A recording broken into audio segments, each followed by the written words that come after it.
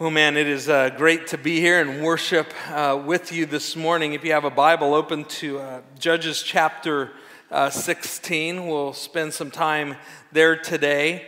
And uh, if you don't have a Bible, there's some in the back, and you'll want to get those. We just want you to be in God's Word as much as possible, um, and we believe that it's true. So we've, we've been spending the last nine weeks in uh, the book, the seventh book of the Bible, the book of Judges. And the book of Judges starts out with the uh, children of Israel who, who have been brought out of slavery in Egypt by a guy named Moses. And they went to the desert, got the Ten Commandments, and then they were taken from the desert to the promised land by a guy named Joshua. And now they're supposed to be able to take hold of the promises of God by taking the promised land. They're, they're supposed to take hold of what God has in store for them but they failed to.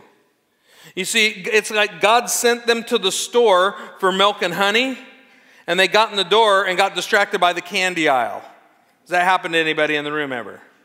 Yeah. And, and, they started to look at the candy aisle and they said, Well, I think I'll take a little bit of that. And before you know it, they're nibbling and dabbling in things that they shouldn't be, and, and they're letting go of what God had in store for them. Instead of living in obedience to God and living by His instructions, they began to dabble in the cultural norms around them and worshiping the gods of the people around them. And that began a cycle of ever darkening destruction for God's people of Israel. What should have been a time of victory as they you know, celebrated this promised land and everything God had in store for them and all the goodness. Instead of it being a time of victory, this becomes a time of disobedience, defeat, and devastation, desperation for God's people. But in the midst of their lostness, because God, who is not like me, and I'm guessing not like you, continues to forgive over and over and over again. And he delivers his people from the ravages of the people around them, and he delivers them so that they can take another shot at this. And we've been looking at these unlikely individuals uh, in this book of Judges. There are people who, who are called judges, but the better word we've discovered is deliverer. They're not like a judge, like Judge Judy or Judge Wapner or somebody like that. They're, they're deliverers, people who are bringing God, uh, God's people out of bondage and into a better place. And, so we, we have seen that some of these Old Testament characters that we have thought all of this time you know, or we're taught in Sunday school that we're heroes, are pretty messed up people. I mean, these guys sin in like spectacular ways. Not, not, not just kind of little sins. These guys sin big time when they do it. They just like go all in. And, and what we and, and that shouldn't surprise us. In fact, the good news this morning is that should encourage us. Recognizing that even in our own mistakes and sinfulness, we have a God who wants to deliver us and who wants good for us. And despite ourselves, God's saying, Hey, I want what's best for you. And God continues to come after us and chase after us. These stories are about a God who, does, who, who can and does accomplish all of his plans and all of his purposes despite what you and I will do. And, we are constantly people like these people who are living in rebellion against God, but we have a God who will constantly make his plans and purposes prevail, despite whether or not we cooperate with him. And last week we began our look at the last of these deliverers, the last judge in the book of Judges, and it's Israel's super strong man. What was his name? Samson. How many of you guys remember Samson from Sunday school? How many Sunday school goers got in the house? Okay, yeah, and we learned all kinds of things about Samson. And, and he was kind of, he, we were taught that he was kind of this big Bible hero, this big, strong, muscular guy who could do all kinds of things. Excuse me. And many of us, though, last week began to see a side of Samson that we weren't taught in Sunday school. In fact, as we've been working through the book of Judges, I'm starting to realize that some of my early on Sunday school teachers, they conveniently left out parts of the Bible, okay? That, that you know, it, it, it's kind of like a parent who, you know, if you're a parent and, and all of a sudden something's coming up in a movie, right, that you're thinking, oh man, my kids shouldn't see that, what do we do? Yeah, we hit, we hit fast forward, right? I think a lot of our Sunday school teachers maybe hit the fast forward button because they're like, ooh, we don't need our kids to hear or read that about Samson, okay? Because this guy did some crazy, crazy stuff. It, it reminds me of the fact that, I mean, oftentimes we try to sterilize the stories in the Bible. And as we've been going through the book of Judges, we've been saying, hey, we're, we're not here to sterilize or kind of tame it down. We're, we're here to look at the reality that God uses broken people. It reminds me of the, the fact that um, the, uh, years back, um, uh, my wife w- would collect these little. Um, these little figurines. Um, does it, any, anybody, anybody know what this is? What, what, what is this? I only hear women's voices. Yeah, yeah. So it's the precious moments, right? Precious moments. And um, uh, my wife collected these, and they came out with, I'll, I'll set it right there so you can enjoy that this morning. Um, they came out with a series of precious moments that were about the Bible stories. You know, this one is the story of, of Daniel in the lion's den. I mean, look how ferocious that man eating lion is, right? and, uh, and look, I mean, there's bones down there, obviously, from the people who got ravaged and torn apart by that dreadful lion, right? I mean, it, it just shows, I mean, we try to kind of cleanse and kind of sterilize the stories of the Bible. So, friend of mine, a youth pastor friend of mine, we used to always laugh about this. We used to always say, you know, they need to come out with a line of these things called the not so precious moments of the Bible, right? Uh, and the book of Judges would be a prime place to come up with little figurines for the not so precious moments.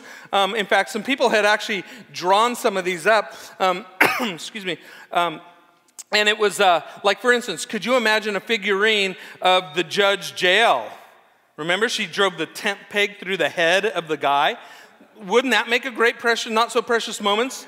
You know, you could kind of display that in the curio cabinet you know, things like Or Ehud, who had his little double edged sword and stabbed it through the big guy and it poked out his back and all that kind of stuff. I mean, wouldn't that make a great figurine or something like that, right? I mean, there's all these not so precious moments through the book of Judges, and we're reminded that, that God's, that God's working with people who, who aren't so sterile, who aren't so perfect, who there's some crazy stuff that happens. The last week, we, we started to learn some new things about uh, the life of Samson, we learned that Samson had a miraculous birth. He was promised by an angel of God to his parents and told prior to his birth that he was going, that he was going to be a child who had special power and special, even physical strength, so that he could defeat and destroy the Philistines who were holding God's people in bondage.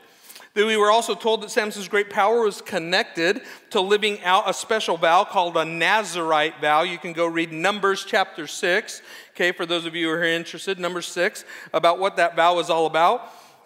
And he had to follow special rules. Like he could not, he wasn't allowed to have anything that had anything to do with grapes, okay? From raisins to Chardonnay, he had to stay away, okay? And, and then he, he couldn't have a, he, he couldn't touch anything that was dead and he couldn't, um, he couldn't ever have his hair cut. So I'm thinking to myself, I'm thinking, okay, so stay away from grapes, from cemeteries, and from barbershops, and you're okay, right? I mean, this doesn't sound like it's a too difficult of a task, but then we discover that Samson has this kind of wild side, this rebellious streak in him. Anybody in here kind of have a rebellious streak in them? No elbowing the person next to you, okay? Yeah. I mean, we all, even if we don't actually do it, there might be in most of us a rebellious attitude or some thoughts that go through our head. We're thinking, hey, it'd be nice to, or what if I could? And we have this rebellious attitude. Now, Samson had not only this wild side and rebellious attitude, he had a weakness. We discovered last week that his weakness was what? Women. Yeah. Like many of the guys. Now, guys, you need to pay special attention to the life of Samson. Okay, he had, he had this weakness uh, for women. We read in Judges chapter 13, verse 25, it says, when Samson was young, it says, the Spirit of the Lord began to stir in him. Unfortunately, the Holy Spirit wasn't the only thing that motivated Samson to action. Women motivated, motivated Samson into action. But God had a purpose. God had a purpose for Samson's life. His main purpose, God's main purpose for Samson's life was to destroy the Philistines. And God's plans and purposes, as we will see, will prevail with or without Samson's cooperation. And so let's dive into chapter 16 as we see that once again Samson starts to slip into this path of disobedience, and his life begins to reflect the cycle of destruction that not only Samson's life, but the whole nation of Israel is caught up in.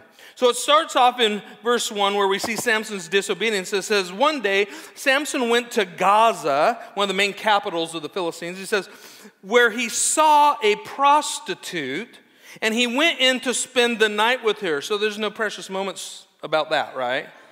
No figurines for that story. So the people of Gaza were told, hey, Samson is here. So they surrounded the place and lay in wait for him all night. at the city gates. They made no move during the night, saying, At dawn we will kill him. But Samson lay there only until the middle of the night. Then he got up and he took hold of the doors of the city gate together with the two posts and he tore them loose, bar and all, and he lifted them to his shoulders and he carried them to the top of the hill that faces Hebron. Now, what you need to understand, we have a gentleman from our church family here um, Aaron Burke, who is an archaeologist, and I was talking to Aaron about this, and, and it, I was saying, like, how, how big might these city gates be? Because he actually did some archaeology in this area of the world um, back about this time. And he said, well, there was these pedestrian gates, and then there was the main city gates that were probably still only, you know, maybe wide enough for a big cart and some horses and stuff to get through. Either way, but, but you got to understand that these gates were there to keep the city secure and to keep out the enemy. So every night they would lock up the, the gates of the city so no one could get in, okay? So everyone could sleep in peace, okay? But no one could get out either.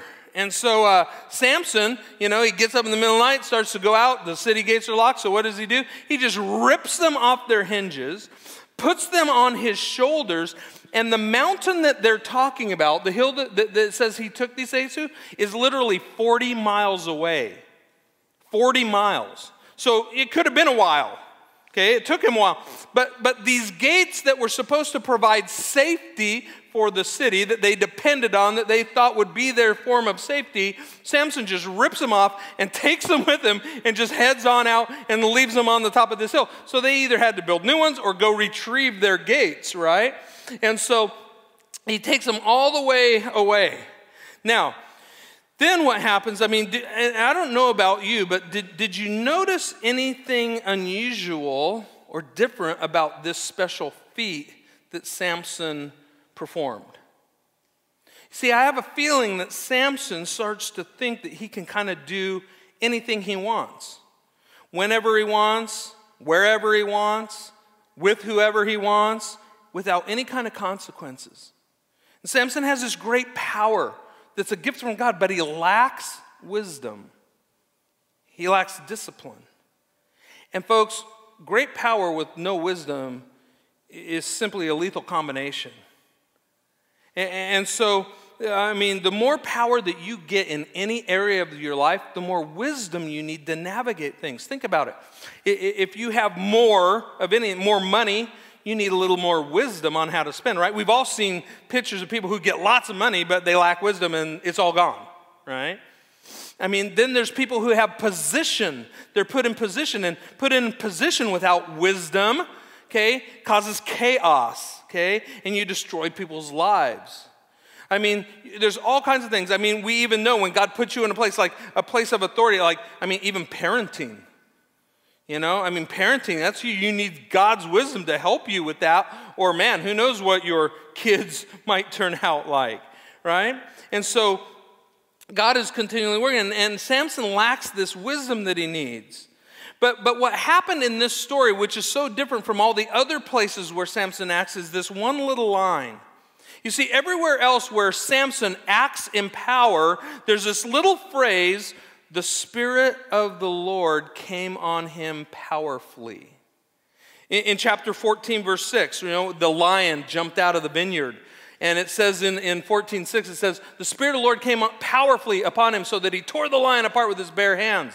And then down in verse 19 of chapter 14, it says, Then the Spirit of the Lord uh, came powerfully upon him, and he went down to Ashkelon and he struck down 30 of their men. So he you know, beats up on these guys, remember, and he stole their clothes and gave them to the guys he had a bet with. And then in chapter 15, it says, um, The Spirit of the Lord came powerfully on him. And remember, that's when he grabbed the jawbone of a donkey, and he says, and he killed a thousand men with the jawbone of a donkey. Every time in the past that, God, that Samson had done some big, powerful act, we have this little phrase the Spirit of the Lord came on him, but not this time. It's strangely left out of this activity. It's as if the biblical author wants to tell us there's something different going on at this point in Samson's life.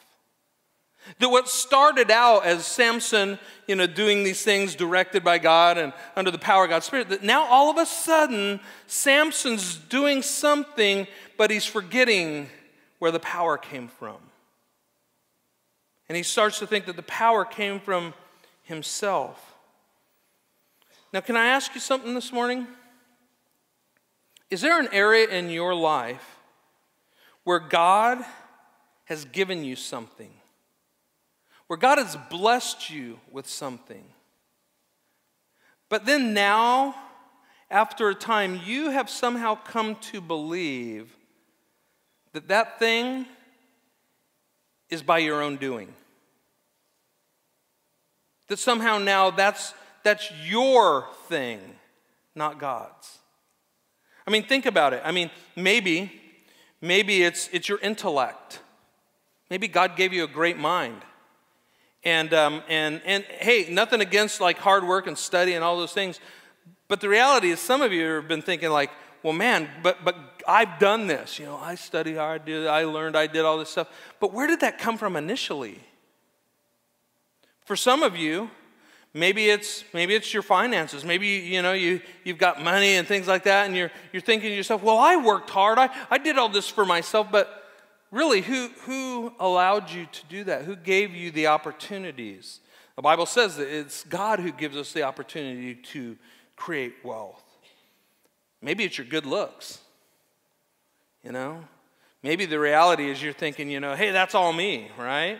And, and, and I know because sometimes, you know, you, you know, there's people who just kind of think, well, hey, I, I can just, you know, my, my good looks or my, my charm or something will get me out of some situation. You think it's all you.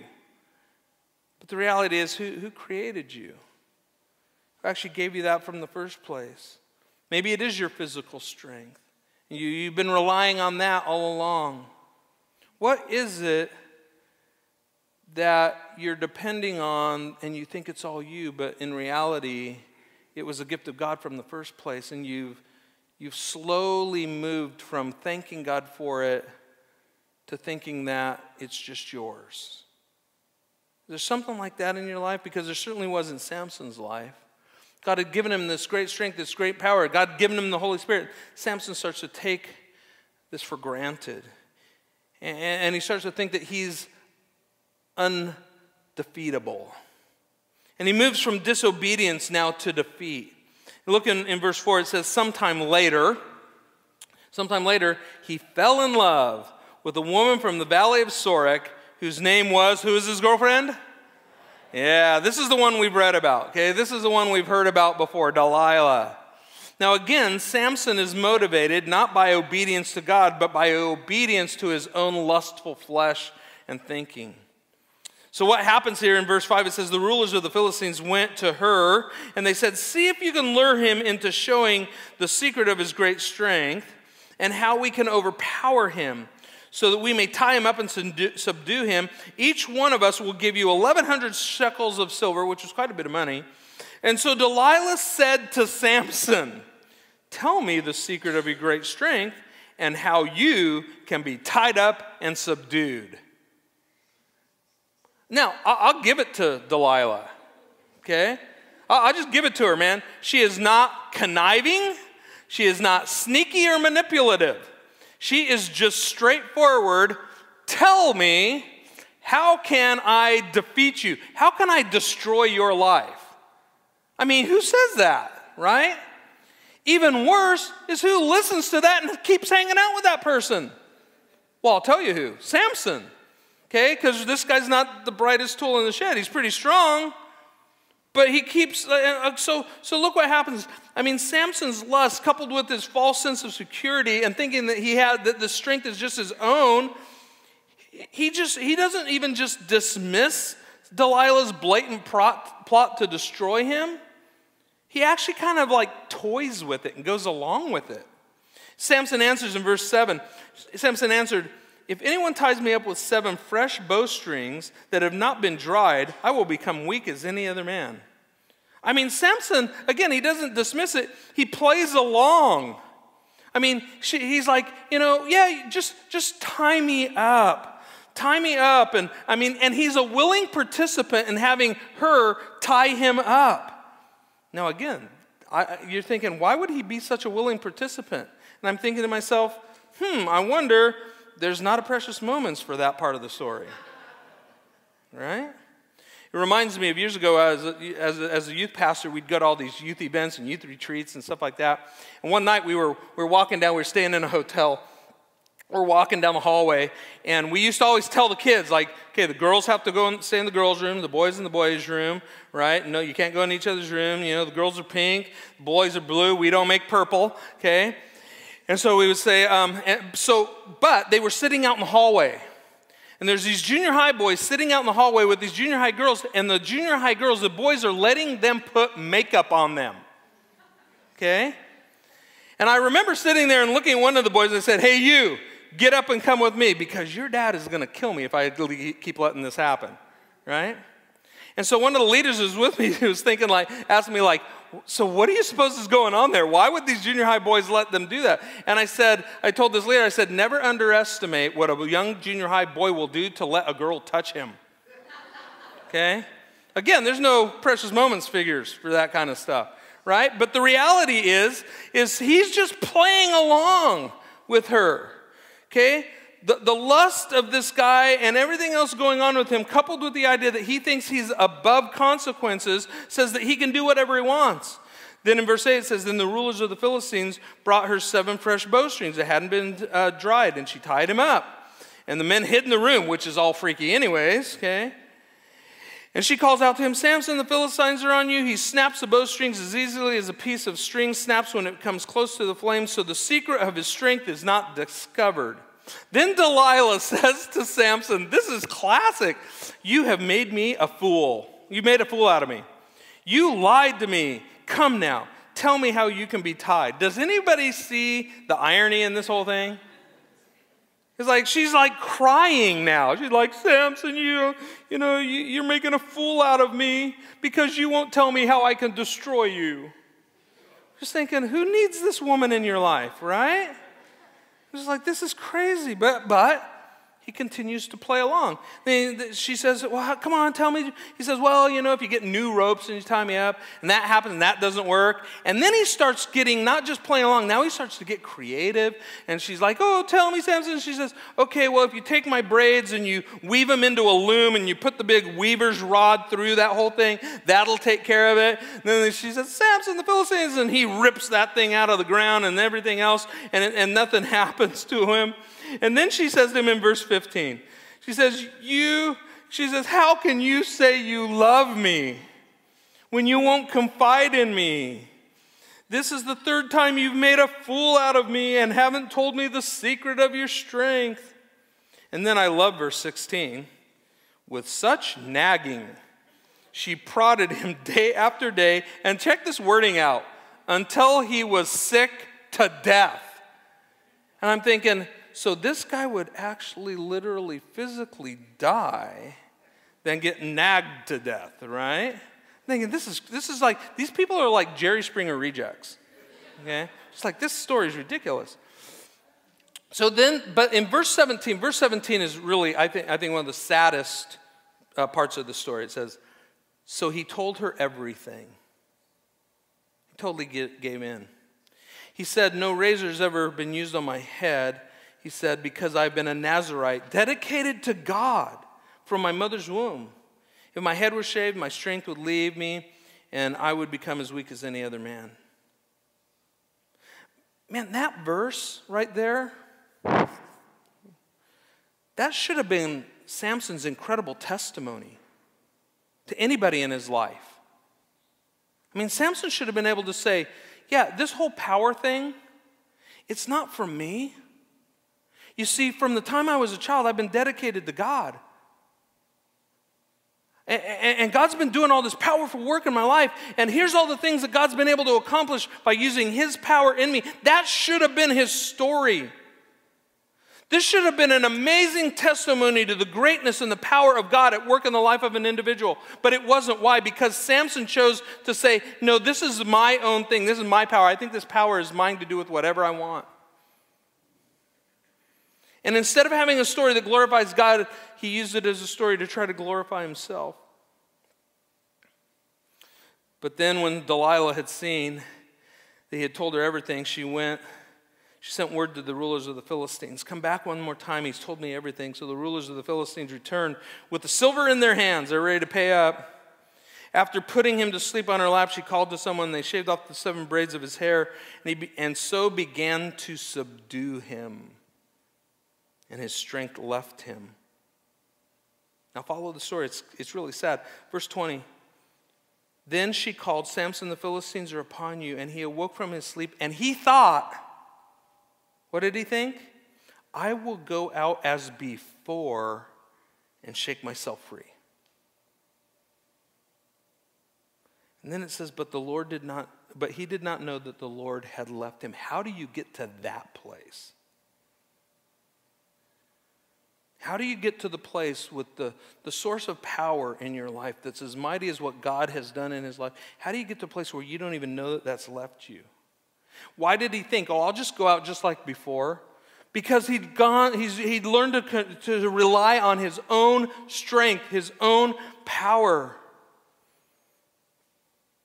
Now, has there been, ever been a time in your life when maybe you thought to yourself, hey, that, that won't happen to me. That might happen to other people, but that's not going to happen to me. Only to actually have it happen to you. Have you ever been in a place where you told yourself, I'll never go there? I won't be dumb enough to cross that line, only to find yourself asking the question, How in the world did I get here?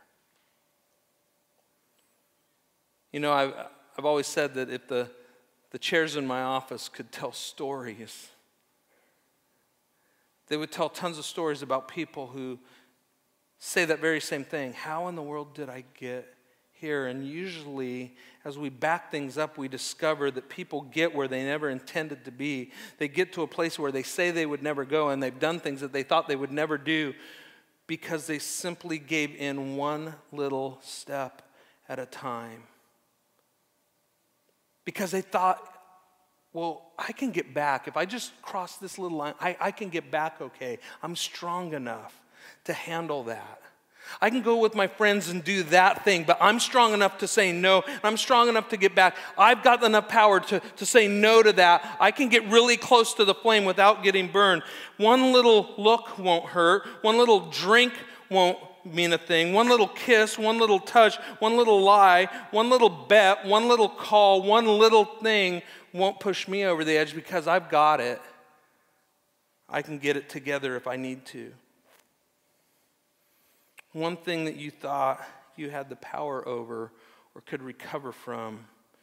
And the reality is is the problem really started when you began to believe that that power was yours. When all along the power to do anything right in our lives comes from our Heavenly Father, who has a better plan and a better story for our lives if we'll let Him use us.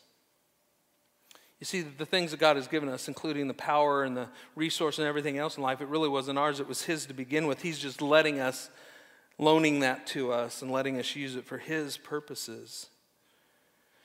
So Samson moves from this place of defeat to a place of total desperation. See what look what happens in verse 21.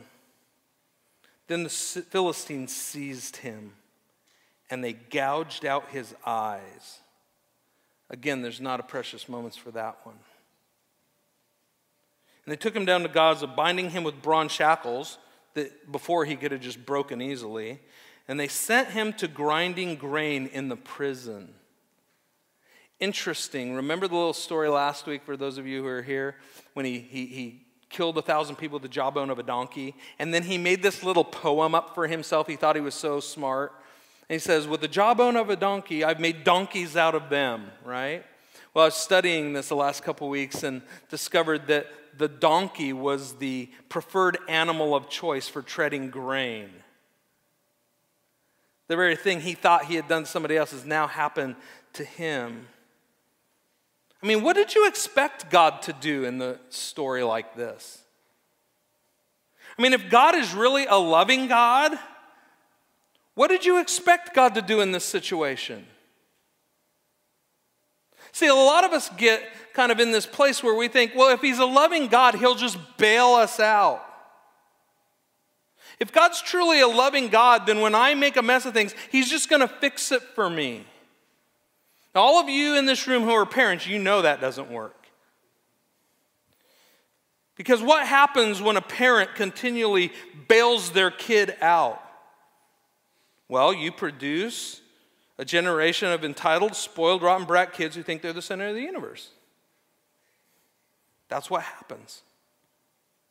See, loving parents will actually come to a place where they let their children experience the natural consequences of their actions. But why do they do that? Why do loving parents do that?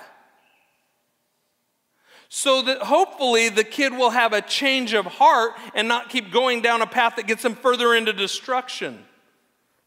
If you just bail them out, they'll just blindly keep going in a place that leads them towards destruction. If you let them experience consequences, they might wake up and say, This is not a good way to go. This might be more painful than I thought it was going to be. You see, here's the reality people somehow fool themselves into thinking that God's grace means that He's just going to bail you out when bad things happen. See, this is a side of God's grace that we don't like to talk about a lot. See, God loves you so much that He won't just like do everything, you know, and send His Son to die for you. He will let you experience pain if it means that you might wake up, repent, and get back into relationship with Him. That's God's grace.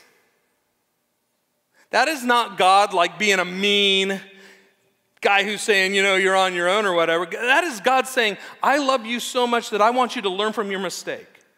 I love you so much that I will let you endure some pain in the hopes that you might turn around and ask for forgiveness and come back to me. See, some of you are in a place in your life where you're all ticked off at God because you're like, oh, God, I'm in this situation, and uh, why don't you bail me out? I'll tell you why He won't bail you out. Because He has this great hope he is banking on the reality that the pain in your life might cause you to actually acknowledge that you don't have it all together and you might turn and depend on Him and cooperate with the story that He has for you, and you'll experience actual wholeness, forgiveness, and completeness in your life.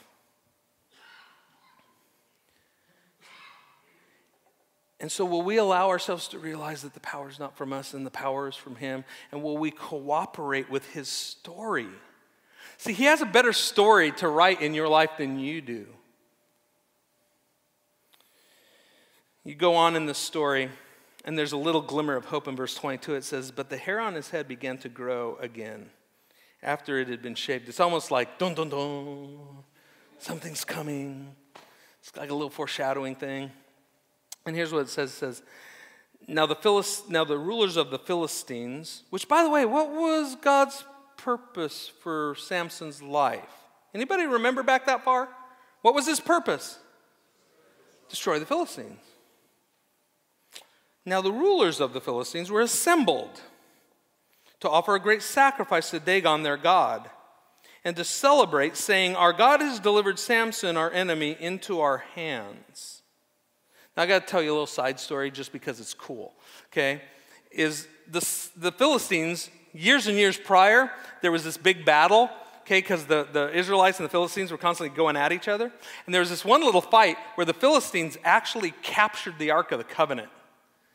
Okay, they, they captured the Ark of the Covenant and they take it back to the temple of Dagon, their God. And they set the Ark of the Covenant just across from the, the, the Dagon, okay? And, and, when that happens, it says the Philistines woke up in the morning and Dagon, the statue of Dagon, had fallen on its face in front of the Ark of the Covenant. And, and we all are like, yeah, God, you go, man. Knock down that statue, right? And then it happened again, and the thing finally breaks and everything else. It's like God's just showing over and over again that He's more powerful. But so we've got the situation where they're like celebrating to their, their foreign, their horrible, their really little g God. And it says in verse 25, while they were in high spirits, they shouted, Bring out Samson to entertain us. So they called Samson out of prison, and he performed for them. What did that look like? He wasn't strong, he couldn't do strongman tricks anymore. He wasn't ripping telephone books in half or anything like that for him. So, what was he doing? Some commentators believe that they actually just brought him out naked to totally humiliate him. To say, look, we have power over the guy who was powerful. So now we're the powerful ones. He's become some kind of like circus sideshow freak. And they drag him out. And folks, there's not a precious moments for that. It goes on and said, when they stood him along the pillars, Samson said to the servant who held his hand, Put me where I can feel the pillars that support the temple so that I may lean against them. Now the temple was crowded with men and women. All the rulers of the Philistines were there. What was Samson's purpose again? And on the roof, there was about 3,000 men and women watching Samson perform. Now, God moves from this place of, uh, Samson moves from this place of, uh, of desperation to, he finally experiences some deliverance. Look in verse 28. Then Samson prayed to the Lord. See, remember that God will let you endure this kind of stuff, this kind of pain. Why? So that you will return to Him. And Samson prayed to the Lord, Sovereign Lord, remember me. Please, God, strengthen me just one more time.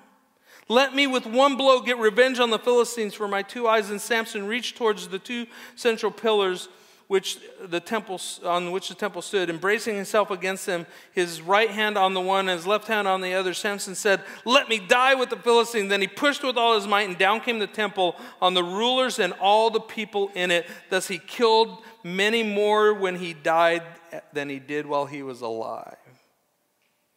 His brothers and fam- father's whole family went down and got him. They brought him back and buried him between Zorah and Eshtaol in the tomb of Manoah, his father, and he had led Israel for 20 years.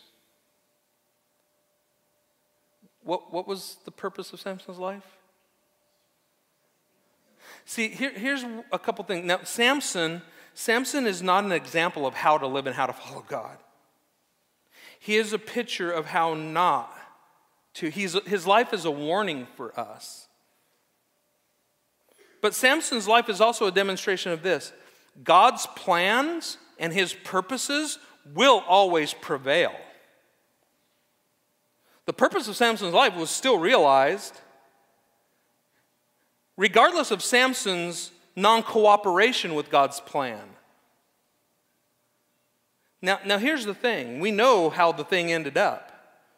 But here's what I want you to get in your head this morning is this. What could have Samson's life been like if he would have chosen that instead of thinking that the power was all his or he could do whatever he want or he could just kind of live his own life, what if Samson would have cooperated?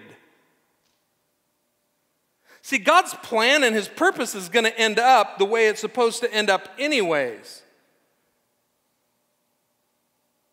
See, the things that happen that, that are different in there is whether or not we experience God's goodness in our story while we're on the way there.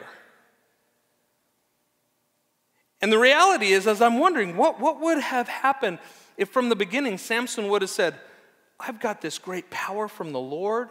I am going to dedicate my life to serving Him. I'm going to do all this stuff. And again, we don't know because that didn't happen, but what could have happened? What would the story have been? What would have Samson's testimony have been if he would have said, instead of going my own way, I'm going to cooperate with the Lord? What kind of blessing would he have received? What kind of life might he have lived? And I'm guessing that this morning, in a room full of people like this, that there's a few folks in here who might need to ask themselves the same question What would life be like if, instead of fighting God, instead of doing my own thing or thinking that I have enough strength to do life on my own, what if we lived in full cooperation with God? How might God bless our lives differently? How might the story be just a little bit different if we live in cooperation with His plans and purposes rather than thinking that we have it all figured out? And so this morning, I'm simply inviting you to do what maybe Samson should have done early on and just said, hey, I want to acknowledge that guess what? If it's left up to me, I'll wreck it most every time. And, and, to be able to say, Lord, guess what? And maybe you're in that place in your life. Maybe you've wrecked something in your life. Maybe you're at that place where you're experiencing consequences for making choices that have taken you down a pathway because you thought you'd be okay. You had the power. You wanted to do this. You did, and maybe you're experiencing all that. And maybe this is the point. Maybe right now, today, is the place where you say, man, if I would cooperate with God's plans and purposes for my life, maybe my life would be a whole lot better. Maybe if I cooperated with God, that the moments of my life would be a little more precious than painful. Just maybe. If we let God do what He really wants to do in our lives. You see, God, God made an incredible trip to the altar on your behalf. God took his only son and he brought him to the altar of the cross. And he said, My plans and purposes are to have a relationship with you, and I'm willing to sacrifice my son to help us get there. And maybe this morning there's someone in this room that needs to say, maybe for the very first time, I don't have the strength, I don't have the power, I don't have the wisdom, I don't have the know how. I will wreck it every time, and I need to depend on God for guidance and direction in my life. And maybe you need to say, I need to stop pretending that I'm the Lord of my life, and I need to let God become the Lord of my life. And if you have never said, I need Jesus Christ to be Lord of my life, and I want to experience all of that that He has for me, then this morning I, I pray that, Lord, you'll just open up your heart and your life, that you'll repent and say, hey, I can't do this, I need Him. And you know, I'm going to be sitting right down here, um, and, and I would love to talk to you during the songs or during communion. Feel free to just come up and chat with me. I would love to share with you how do you make that move? Maybe some of you, maybe some of you have wrecked your life, wrecked relationships, wrecked all kinds of things, wrecked your jobs, wrecked your, and you, you need to say this morning, Lord, I have wrecked it. Help me, Lord. I would rather cooperate with you and experience your goodness than keep trying to do this on my own. Maybe that's where you are this morning. Wherever you are, my prayer this morning is that while we take communion that represents God's sacrifice on our behalf, that you might come to a place of saying, God, I recognize that you are King of kings and Lord of lords. That your plans and your purposes will always prevail, and I would rather cooperate you than fight against you. That, Lord, I would love for you to come in and redeem and restore the things that I've broken in my life. And Father, I want to come to you this morning. And maybe you need to come to that altar this morning and lay down your pride and lay down all the stuff you've been depending on and lay down your own strength and your own power and all of your own wisdom and say, Lord, I need what you've got rather than what I have. And would you use this time this morning as we celebrate Christ's sacrifice for us to do just that? To come to Him Because here's what I know about him he will always, always forgive. He will always desire to restore and deliver you out of the wreck and the bondage of the places that you've put yourself. He's a good God and He loves you with all of His heart. Would you respond to Him and say, Lord, I want to cooperate with you today? And if that's where you're at, I'd love to talk to you more about it because we want you to experience a different story. A story of full cooperation with the God who has everything,